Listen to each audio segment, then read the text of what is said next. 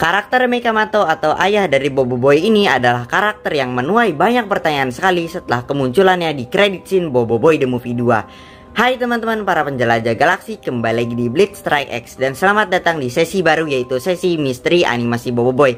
Ini adalah sesi baru jadi masih ini episode 1 ya. Nanti banyak lagi yang kita bakal bahas ya. Makanya subscribe channel saya jika kalian suka sama channel saya dan tekan tombol like-nya juga ya. Gratis kok, tinggal ditekan aja dan siapkan cemilan ringannya biar seru pastinya.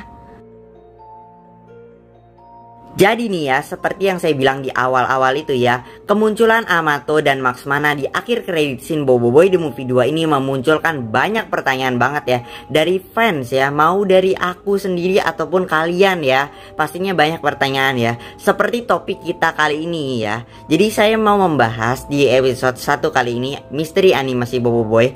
Kenapa banyak yang tidak tahu kalau Amato ini merupakan ayah dari Bobo Boy? Well, penasaran kan? Langsung saja kita bahas topik kita kali ini. Well, kita bahas dulu nih karakter yang sekiranya tidak tahu bahwa Amato ini merupakan ayah dari Bobo Boy. Well, kita akan mulai dulu dengan karakter Adudu nih ya. Jika kalian sadar ya, setiap kali Adudu ini bertemu dengan tokoh baik yang sekiranya kuat banget ya, Adudu itu pasti lari atau kabur lah.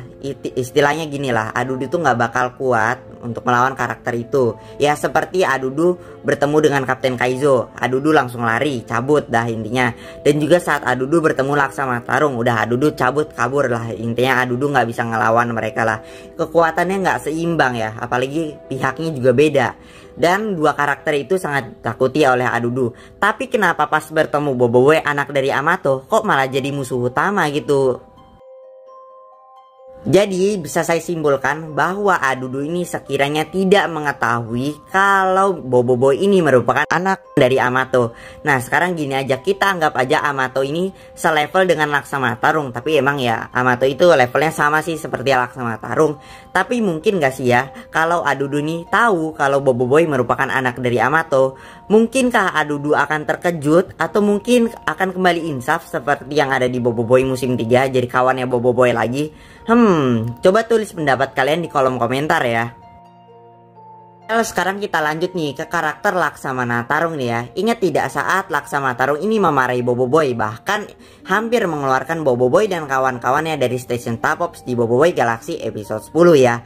Padahal kan Laksamana Tarung harusnya kenal dong sama Amato, tapi masa sama anaknya tidak? Hmm, apakah dirahasiakan atau mungkin ada rahasia yang menutupinya? Hmm, menarik ya. Dan juga nih ya saat Kapten Kaizo nih ya menyerang Bobo Boy di Bobo Boy musim 3 ya. Kan Kapten Kaizo ini merupakan murid dari Laksamana Maksmana Dan juga Maksmana ini merupakan temannya dari Amato ya Dari ayahnya Bobo Boy ini. Masa nggak tahu sih kalau misalnya Bobo Boy ini merupakan anaknya dari Amato? Hmm, misteri ini ya. Dan kira-kira apa yang terjadi setelah Kapten Kaizo ini menyerang Boboiboy Boboiboy musim 3? Apakah diketahui oleh Amato dan Max Mana? Dan apakah diberi nasihat lagi apakah untuk berbaikan dengan Boboiboy? Mungkin ya. Hmm. Coba tulis di kolom komentar pendapat kalian ya. Dan yang pastinya mengetahui kalau Amato ini merupakan ayah dari Bobo Boy adalah Max Mana aja ya. Karena Max Mana ini merupakan teman dekat dari Amato. Dan dia akan hadir juga di filmnya Mekamato Movie nantinya. Kalau Mekamato series mungkin akan hadir juga mungkin atau tidak ya. Dan easter egg ya di Bobo Boy di movie 2 yaitu Max Mana yang sedang mengobrol bareng Tok Abai. Yaitu ayah dari Amato itu sendiri. Kira-kira mereka ngobrolin apa ya? Ayo komen yo komen ayo Dan sedangkan anggota Tapops lainnya seperti Laksana Tarung ataupun Kapten Kaizo atau Commander Kokochi Yaitu sedang asik ngobrol di bangku lain ya Hmm, gimana? Apakah kalian mau konten tentang detail kecil yang kalian lewatkan di Bobo Boy di movie 2? Ayo komen, mau nggak? Jadi kesimpulannya adalah apakah Amato ini merahasiakan tentang Bobo Boy atau apakah Amato sendiri yang sekiranya tidak memberitahu mereka kalau Amato ini mempunyai seorang anak? Ataupun tidak ada yang bertanya gitu ya? Atau mungkin ada yang tahu kalau Amato ini mempunyai anak tapi nggak tahu kalau misalnya anaknya ini adalah Bobo Boy. Tapi kalau soal Feng, Adudu Kaizo, Laksana Tarung, Chichiko atau yang lain ya pastinya kenal dong sama Amato. Tapi sekiranya tidak tahu ya jika Amato ini adalah ayah dari Bobo Boy ya. Kita masih menunggu misteri ini akan terungkap kapan.